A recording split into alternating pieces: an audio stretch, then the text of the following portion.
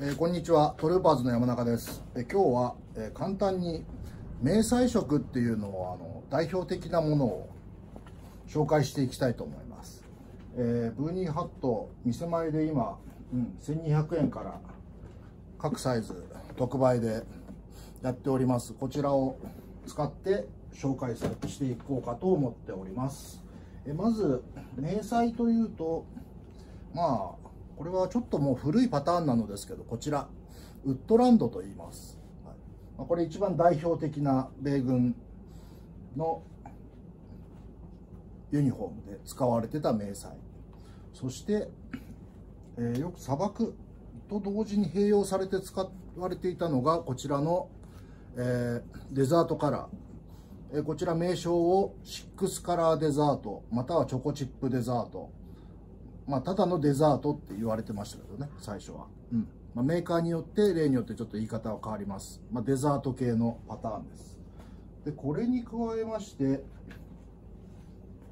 えー、こういったタイガーパターンっていうのもあります。これはですね、メーカーによっては US タイガーとか、ベトナムタイガーとか、まあ、あの言い方によっては、いや、ベトナムタイガーは厳密にはもう少し薄い色だとか、あの、そのね、その筋の人たちが起こる言い方になってしまいますけど、えっ、と、まあ、タイガーパターン、トラっぽいでしょ？はい。ね、そして、えー、今度は、こちらのウッドランドのこの配色をタイガーに変えた、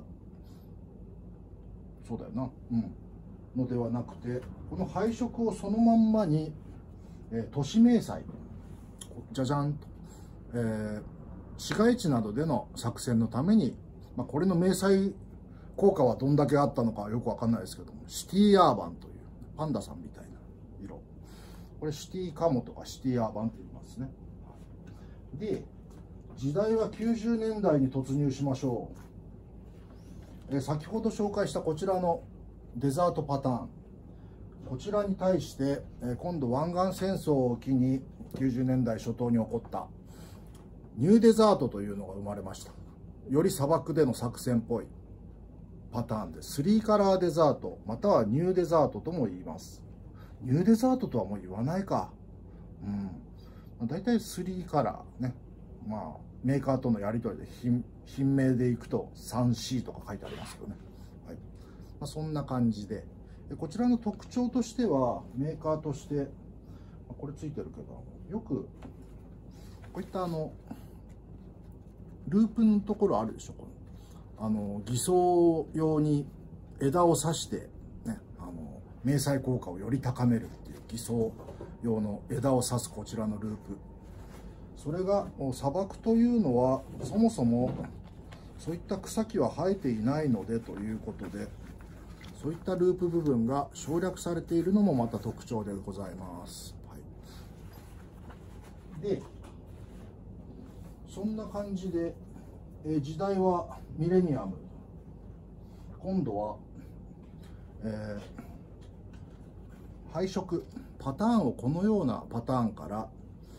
デジタルパターンも時代はデジタル、はい。えーと、とこれはあの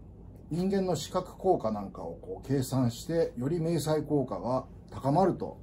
いうことで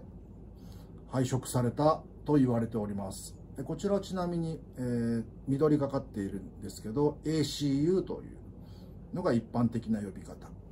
ACU って何だろうな。アーミーアーミー何なんですかね。わかんないですけど、うん、ACU と言われてますな、うん、あとはなんだっけな。アーミーデジタル。でもアーミーデジタルってロスコなんかは言ってますけどね、うん、まあいいやと。ACU です。でちなみに紛らわしいんですけどプロッパーというあのウェアをあの各種取り扱ってましてその中でも ACU というモデルがあるんです。それはアーミーコンバットユニフォームの略で決してこうカモフラの名称を指す ACU ではないという。まあ、これは別にスタッフレベルで覚えておけばいい話ですけどでこんな時代はデジタルに突入したので、えー、先ほどあった森そして砂漠。この大体両色をこのように配色しました。デジタル系のデジタルウッドランドそしてデジタルデザート、デザートデジタルとかも、うん、あと何ていうかな。まあね、まあ、よく間違えてますよ、まあうん、まあまあそんなんで。ループあるじゃねえかってロスコだから。はい。まあ、そんなんでこちらはアーミーあ違う違う。デジタル系の配色となったデジタルウッドランドとデジタルデザート。中にはそのデジタルブームに乗っかってあの夜間明細なんかもあるんだよ。これはだから何ていうのかな。これはえー、っとですねアーバンデジタルカモって書いてある。うん。分かりづらいですね、はい、メーカーによって故障が違うんですよ。メーカーによってはねあとデジタルアーバンデジタル、ブラックアーバンデジタルとかの方が分かりやすいですけどまあいいや。でそしてそして これだけあの今回あのブーニーハットでも値段が1200円ではなく1500円ですけど時代は逆行しましてこちらの配色パターンに戻ったマルチカムという色これが大体今主流でございますねとあるメーカーに聞いたところによるとロンドンオリンピックなんかでもあの警備兵がみんなこちらの迷彩色を着て警備に当たったと言われているぐらい最新の米軍のパターンで主流なところでございます。でそれ以降もクリプテックですとかいろんなこうねあの非常にこうファッショナブルな あのカラー出ておりますけどもいまいちこう主流にまではなってはいないんじゃないかなという印象でございます。いろんなねあの配色ありますけど。まあ、そういうわけで、えー、まあ、あとはあのこういった単色のカーキそしてオリーブドラブ OD、まあ、こういった私が着てる色なんかも OD ですね。と言います。まあ、あの本当にこうね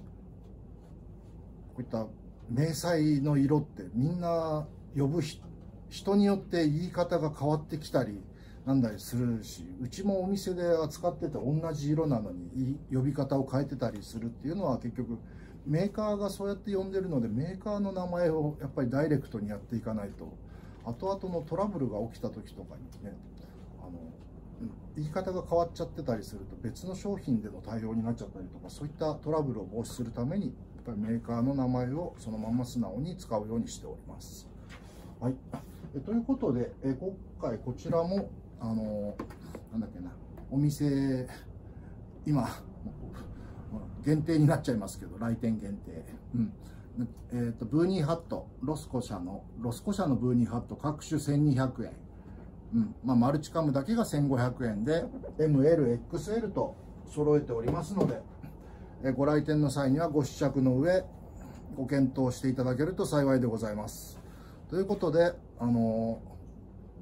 最後まで見ていただいてありがとうございました。